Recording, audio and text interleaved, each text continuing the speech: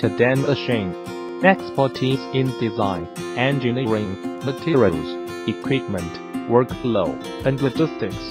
We work together to provide the ultimate solution since 2001. From sealed foods, picked and perishable items to electronic components, machinery and much much more. Welcome to visit our website www.todaymachine.com